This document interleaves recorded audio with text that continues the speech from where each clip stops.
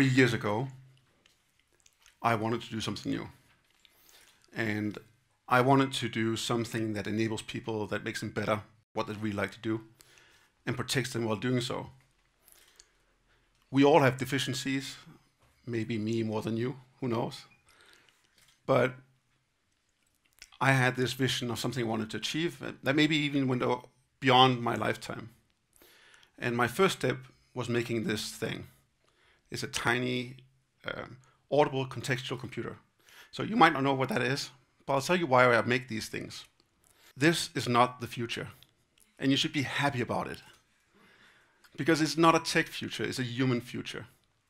It's a future where we are in the center, not computers. So I want to take you through 100 years of interaction. 50 years back, 50 years in the future. What do I think that's going to happen and why am I making this?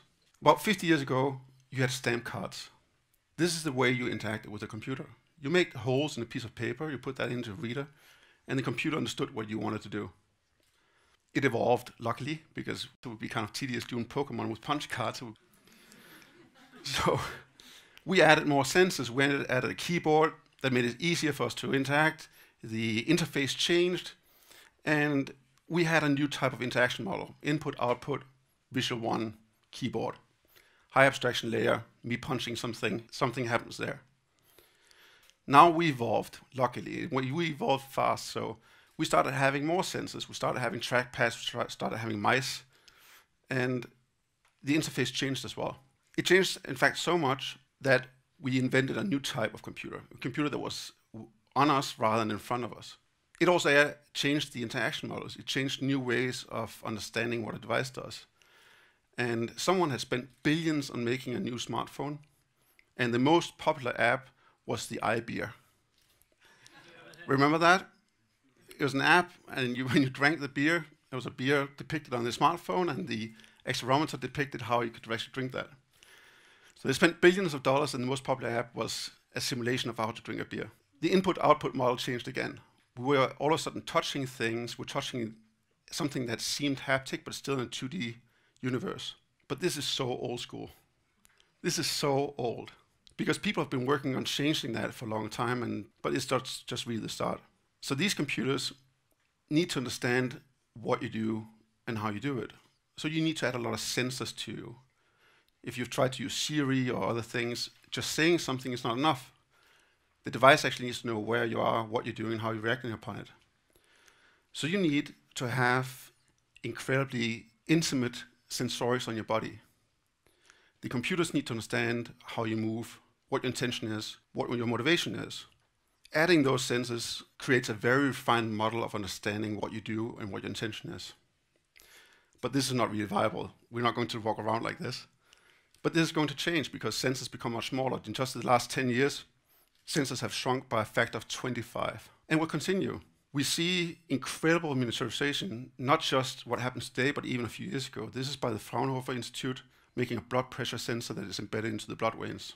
And this is tiny. So it's not just about one sensor, it's not about two sensors. You have millions of sensors in your body. And you'll have millions of sensors on your body in the future. All of those will understand what you do and will be much more discreet in interacting with you. They will understand where are you, in what kind of surrounding are you. They will understand what you're doing and how you are actually doing physically while performing that action. We call this contextual computing. The computer chooses to do act differently depending on the context. Our computer's in the ear. If you get a phone call, you nod, it will pick up the call. That's contextual computing. While I do something, something happens. And imagine what happens if you don't have just five or 10, but millions of sensors. The interaction models will change.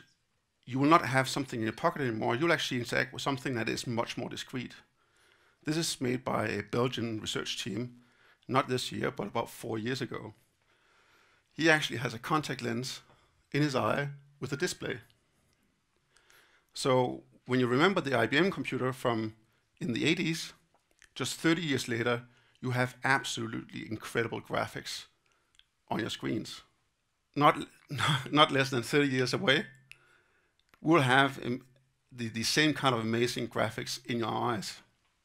You will not be able to distinguish between reality and this artificial life based upon a sensor or based upon a, a rendering device in your eyes. So we will have, have computer systems that will understand how you move, how you feel, what you want to do, and how you want to do it, and simulate completely an interaction with someone else.